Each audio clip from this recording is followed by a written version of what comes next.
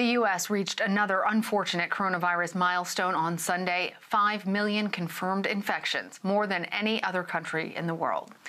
Of course, the pandemic is also taking a huge economic toll. President Trump signed executive orders Saturday aimed at helping Americans who are struggling financially because of the pandemic. The executive orders would bypass Congress after negotiations collapsed last week. But it's not clear how much the orders will ultimately help or if they're even legal. CBS News correspondent Michael George reports. President Trump signed the executive actions at his New Jersey golf club after talks hit a wall on Capitol Hill. We've had it, and we're going to save American jobs and provide relief to the American workers. The president's move Saturday aims to defer evictions, freeze payroll taxes for workers making about $100,000 or less, and extend 0% interest on student loans. On the most contentious issue, the president gives unemployed workers an extra $400 in weekly benefits, with states footing a quarter of the bill. Democrats want to extend the $600 weekly supplement that recently expired. House Speaker Nancy Pelosi and Senate Minority Leader Chuck Schumer released a statement tearing into the measures, saying in part, instead of passing a bill, now President Trump is cutting families' unemployment benefits and pushing states further into budget crises, forcing them to make devastating cuts to life or death services. Whether President Trump has the legal standing to act on his own remains unclear. If we get sued, it's somebody that doesn't want people to get money. Okay? And that's not going to be a very popular thing. On Friday, the government reported the jobless rate eased to 10.2% as employers added close to 2 million jobs last month. But economists say there's still a long and uncertain road ahead. Michael George, CBS News. And for the very latest, we are joined by CBS News White House correspondent Paula Reid. Paula is traveling with the president and joins us now from Bridgewater, New Jersey. Paula, we heard the president say there anybody who's going to challenge it is trying to take money away from people. In the lead up to this, there was a lot of discussion about the legality of the president bypassing Congress when it comes to financial matters. So, how likely are we to see legal challenges to these executive orders? And if so, from whom? It's very likely that you're going to see legal challenges. Even the president himself admitted that. But in terms of who is going to file and what kind of challenges we'll see, let, us go down the list of the executive actions that the president signed. First of all, when it comes to the unemployment insurance, uh, there the president is extending these benefits uh, for several weeks. He's borrowing money from FEMA uh, to put towards this relief. He's also asking the states to kick in about 25% of that. That right there, that's ripe for some litigation. Uh, not only uh, is the Constitution pretty clear that the tax and spend power belongs uh, to Congress, uh, the president also doesn't necessarily have the power to co-opt states into contributing to what is actually a federal unemployment benefit that he is trying to convey. The next thing is the payroll tax cut. Uh, the president is deferring payroll taxes uh, for several months for folks. He suggested that he would make it permanent, so you don't have to pay it back uh, next year uh, if he is reelected, sort of dangling that carrot.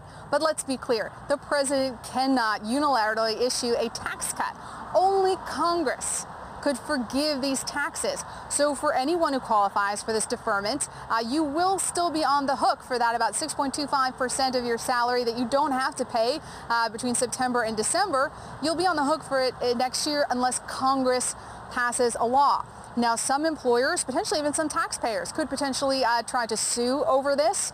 Um, but then there's other actions that he took on student loans, uh, on evictions, uh, having to do with housing. Those two, I think, are less likely to face legal challenges successfully. There could certainly be some folks who try to sue over those, but there the president is issuing directions to administrative agencies, uh, so to the Department of Education, uh, to Housing and Urban Development. That's probably, legally speaking, more within his wheelhouse. But again, I pressed the president on this yesterday. I said, uh, are you giving people false hope? It's likely that potentially all of this relief could be almost immediately blocked by the courts, uh, either blocked indefinitely or at least delayed.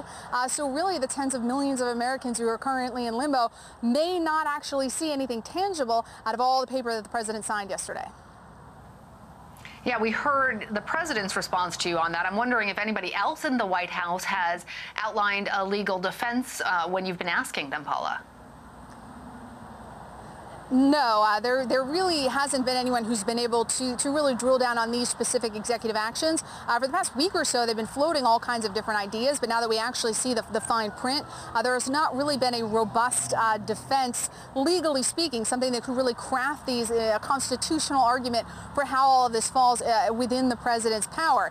this White House, though, they, they have they have been pretty aggressive about exploring the outer edges of the president's executive authority. They have at times been successful successful, for example, with the travel ban, but it took them revising their travel ban multiple times uh, before that passed muster. So that may be what happens here. Uh, the president tests this, it gets blocked by the courts, they incorporate that feedback and eventually do something. Uh, but when we're talking about evictions, when we're talking about unemployment relief for people who have been out of work for months, most of these people don't necessarily have months uh, or perhaps even years to wait for an answer from the Supreme Court.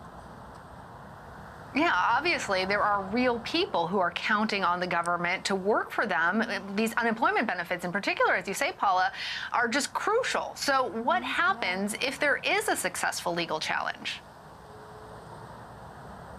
Again, this relief will be delayed, certainly, um, but potentially blocked indefinitely. It could be that really everything yesterday uh, was just symbolic and none of this money actually exchanges hands. I would expect, though, that the student loan provision, uh, because it really mirrors what's already happened, uh, student loan borrowers, folks who have federal loans and in some cases uh, certain private loans as well, they don't necessarily have, they don't have to pay if they if they don't want to or if they can't uh, over the next several months. That's been in place for several months. I would expect uh, that will likely continue for a period of time because, again, it mirrors what Democrats have wanted, just not uh, for as long. It's what the federal government is already doing. It's likely that will survive, but I, I wouldn't encourage, in my former life as a lawyer, I wouldn't encourage any clients uh, to depend, certainly not on the payroll tax cut because they're going to have to pay that back likely, or this unemployment insurance. They may never see it. And again, the relief for homeowners on mortgages and evictions, that's very complicated and nuanced and very situation specific. At this point, it's really just not giving any clarity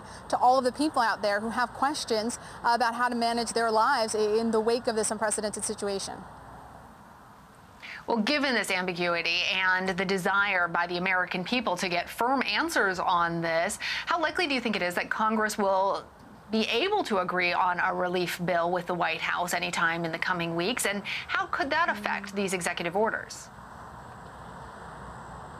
It's a good question. Uh, based on what's happened over the last two weeks, uh, it doesn't appear that they can agree uh, on, the big issues, particularly unemployment insurance. They haven't really given us any reason to be optimistic that they're all going to get together and figure it out. Uh, early Sunday morning uh, on the, the political talk shows, uh, Treasury Secretary Steve Mnuchin, who's been leading these, these talks along with House Speaker Nancy Pelosi, they both left the door open to additional negotiations, but both of them suggested that the other side needs to bring something to the table to consider. At this point, it just does not appear that they're going to be able to come to an agreement. Uh, Republicans have floated the idea of a short-term agreement. Hey, let's, let's come to an agreement on a few issues and then come back later. But the House Speaker has flatly rejected that. She's worried that if they do that, Republicans are never going to come back to the table to deal with all those other issues. So right now, uh, look, it appears to be a stalemate. I don't see any reason for optimism about a deal, certainly not this week.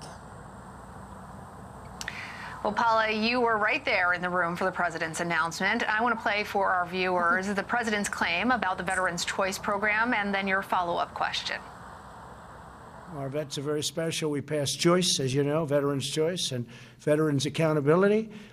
And they've been trying to get that passed for decades and decades and decades, and no president's ever been able to do it, and we got it done, so veterans have choice. Why do you keep saying finished? that you passed. Veterans Choice? Please. You passed Veterans Choice. It was passed in 2014. Okay, excuse me. Go ahead, please. But it was a false statement, sir. Okay. Thank, thank you very much, everybody. Thank you very much.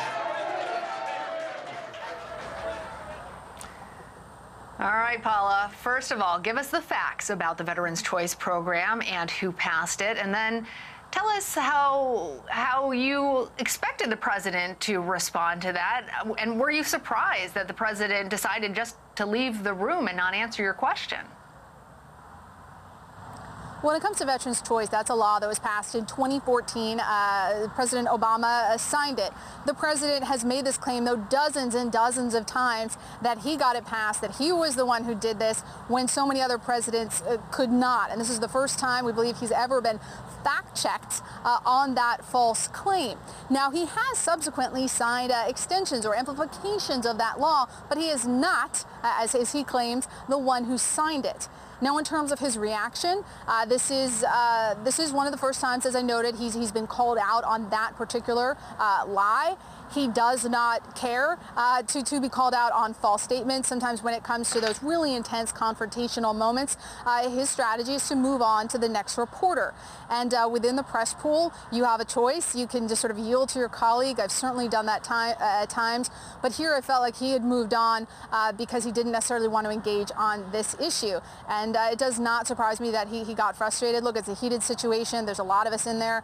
it's crowded. As you could hear, there were folks cheering him on uh, in the background. So there's a little bit of theater, but we've seen this before. And look, Lana, there have been times uh, when I've had a question and I saw he was trying to deprive one of my colleagues of a follow-up and I yielded. And sometimes I've lost my question too because he stormed out. He does not particularly care for it um, when we, we either work together or in this case, uh, I refuse refuse to yield. And I think intelligent minds can disagree uh, whether I was being polite, but I was pressing him on a really important issue uh, that he has lied about dozens and dozens of times. And as you know, we did not get a response or an explanation for him about why he continues to make this false claim.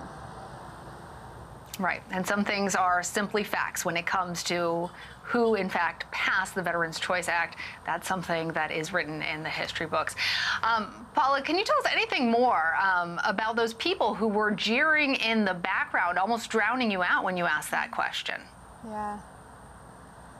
It's interesting. It's a totally different environment. Uh, this is a press availability that the president held at his New Jersey golf club. Uh, that's where he's staying here. He invited us, up there. It's the first time I've been there, but the press was invited uh, the night before for him to give a statement.